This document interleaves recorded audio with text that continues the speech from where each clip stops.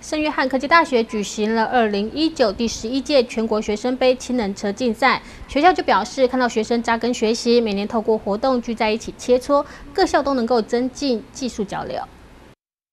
为了让民众能够更加认识氢能车的优点与发展趋势，台湾氢能与燃料电池学会、台湾能源学会今年选在圣约翰科技大学举办二零一九第十一届全国学生杯氢能车竞赛，希望借由活动带动全国大专学生动手实做的风潮，使手脑并用的理工教育得以落实。而圣约翰科技大学校长表示，看到学生开始扎根学习，每年借此活动聚在一起，彼此切磋，各校都能。够增进技术交流，一定可以让氢能源在台湾更加成熟发展。这样子一个能源呢，哈，其实在日本很多先进国家已经发展成可以商品化的车子在运行。所以呢，哈，在大专校院呢，我们把这个技术让学生能在学校里面就扎根，同时呢，哈，可以每一年在不同的学校办理这样子一个竞赛，彼此切磋，增进技术。的交流啊，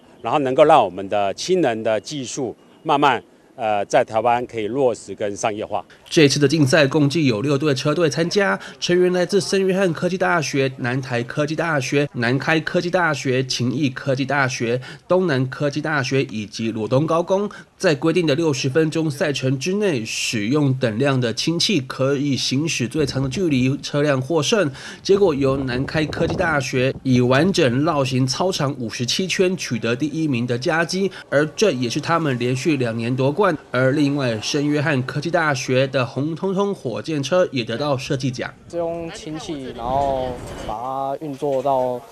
转为电力，嗯，然后并且输入到马达，然后才能发动。对，然后这台车是用有一点流体的概念去去制作而成的。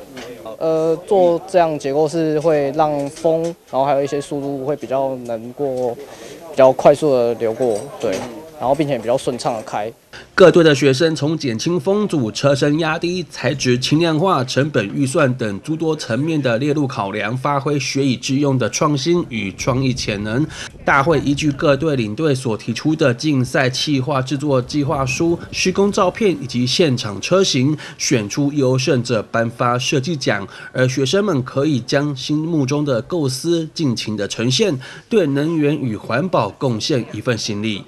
记者许端一带水采访报道。